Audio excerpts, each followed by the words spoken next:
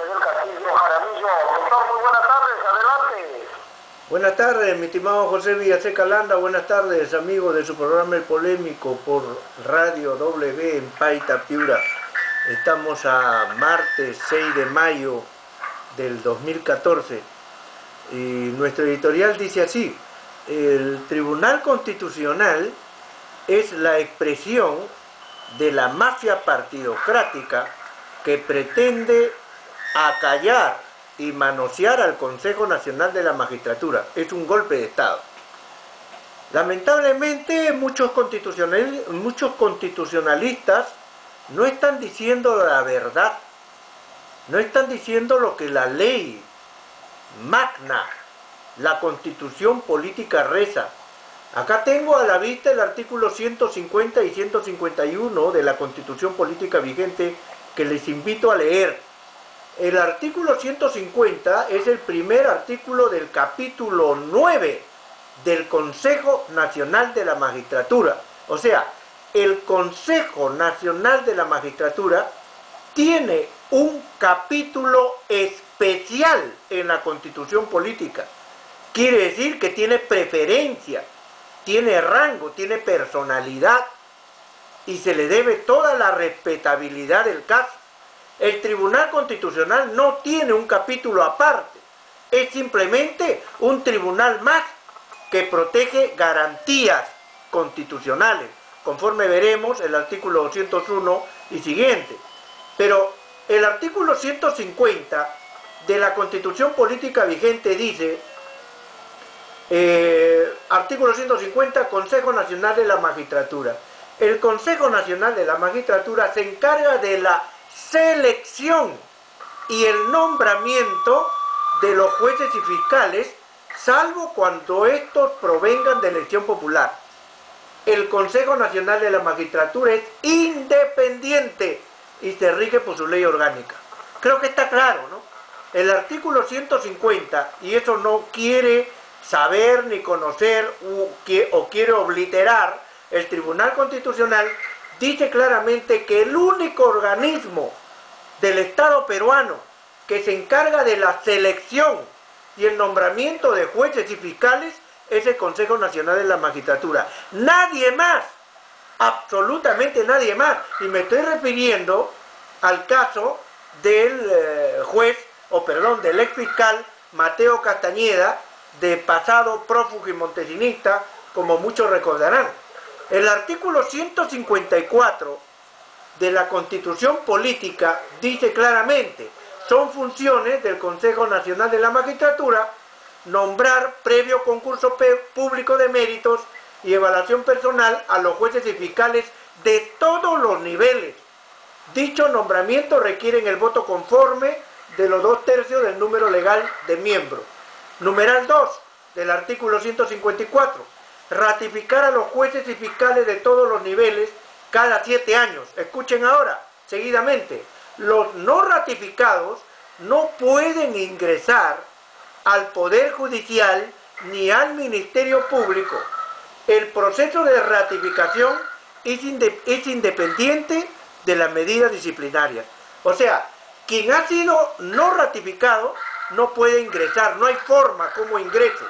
Y esto quiere, eh, digamos, hacernos olvidar el Tribunal Constitucional, ¿correcto?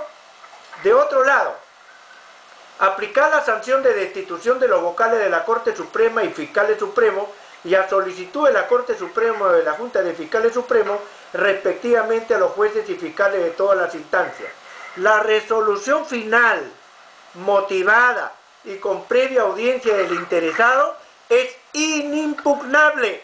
O sea, no puedes irte a ningún sitio a llorar ni a reclamar que te pongan como juez o como fiscal si el Consejo de la Magistratura ya sancionó que no ingreses. Entonces, me parece que estos artículos están sumamente claros, mi estimado.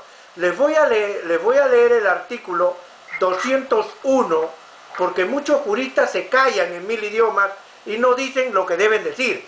Título, quinto de la Constitución Política de las Garantías Constitucionales, artículo 201, dice lo siguiente, ¿no? Tribunal Constitucional. El Tribunal Constitucional es el órgano de control de la Constitución. Es autónomo e independiente. Se compone de siete miembros elegidos por cinco años. O sea, el Tribunal Constitucional solamente se encarga de conocer las causas cuando la constitución política como cuerpo jurídico ha sido lesionado en alguna norma o en alguna resolución. Nada más. El Tribunal Constitucional no tiene ninguna facultad para imponer jueces o fiscales. ¿Correcto? Eso está sumamente claro. Es más, el artículo 202 de la Constitución Política vigente dice, atribuciones del Tribunal Constitucional. Corresponde al Tribunal Constitucional, uno, conocer en instancia única la acción de inconstitucionalidad. Dos, conocer en última y definitiva instancia las resoluciones denegatoria de habeas corpus, amparo, habeas data y acción de cumplimiento. Y tercero y último, conocer los conflictos de competencia o de atribuciones asignadas por la Constitución conforme a ley. ¿Qué quiere decir esto, estimados radioyentes y compatriotas? Que el Tribunal Constitucional a lo más, a lo único que puede remitirse es a decir, ¿se violó la Constitución o no se violó la Constitución? Punto, se acabó el tema. Y que se restituya eh, eh, de la manera que conforme es arreglado a derecho, nada más. Pero lo que ha hecho el Tribunal Constitucional es sacar a dos fiscales supremas, dentro de, ellas a la dignísima fiscal suprema, Zoila Ávalo de carrera limpia, la saca para imponer a un fiscal cuestionado, acusado de asesinato, que no guarda los requisitos ni siquiera como fiscal supremo, y sin embargo, ¿ah? el Tribunal Constitucional lo quiere imponer para que limpie el camino a Alan García Pérez y no sea acusado constitucionalmente. Aquí acabo de leer las normas constitucionales que la prensa grande no difunde y que muchos desconocen por A o B motivos, pero lo cierto es que el único que pone y saca jueces es el Consejo Nacional de la Magistratura y el Tribunal Constitucional solamente se dedica a prender la luz roja cuando se ha violado alguna norma de la constitución política como cuerpo jurídico.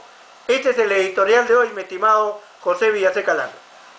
Doctor, y esa pugna que de cierto modo la opinión pública lo toma como que está sesgada hacia cierto interés, es la que automáticamente eh, por acá por el norte la están percibiendo como una cortina de humo. ¿Qué habrá detrás de todo esto, doctor?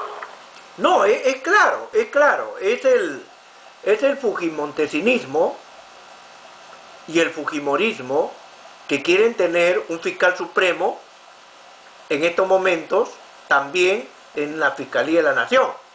Ese es el tema. El alanismo sabe que puede jugar con Mateo Castañeda porque es un jugador. Eso está clarísimo, ¿no? Entonces, el quererse meter por la ventana como fiscal supremo es un jugador, pues es un sinvergüenza. Es un leguleyo que utiliza las normas, los contactos políticos, ¿no es cierto? Y como todo el Tribunal Constitucional es una sopa de políticos, pues simple y llanamente quiere imponernos, ¿no es cierto?, la cochinada política a los hombres decentes, honestos de este Perú, ¿no es cierto? Y eso no lo podemos permitir. ¿Y por qué les digo que vamos a permitirlo y gracias doctor por esa aleccionadora intervención que cada día usted nos tiene acostumbrados y gracias a eso, a ello también, para la redundancia, los oyentes hacen de esta su columna muy amena. Correcto, solamente agregar José que lamento que el piurano Juan José Díaz Dios, como representante, disculpen el término, del maldito Fujimorismo, acaba de decir que no quiere elegir él, ni el Fujimorismo, ni el Fujimontesinismo, quieren elegir a un connotado hombre de derecho y a un experto constitucionalista como es el señor Eguiguren. Y no lo quieren elegir simple y llanamente porque no es neoliberal. Lo han dicho expresamente, que reconocen las calidades académicas y profesionales del constitucionalista Luis Antonio Guiguren, pero que no lo eligen porque no es neoliberal. Y eso quiere decir que se eligen como miembros del Tribunal Constitucional en el Congreso solamente a políticos. La calidad profesional o la trayectoria como jurista les interesa un pepino.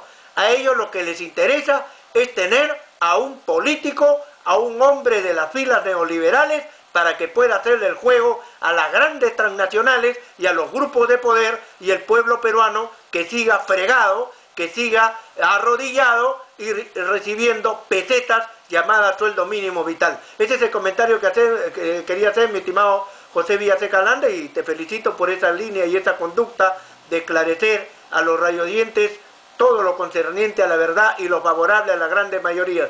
Hasta el día próximo, mi estimado José Villaseca Landa, muchas gracias. Hasta el día de mañana lo estaremos esperando, doctor, para escuchar su eh, intervención en nuestro noticiero del polémico en Radio W, los 88.7 de la frecuencia modulada. Que Dios me lo bendiga, lo esperamos mañana, doctor. Ok, gracias. Estuvo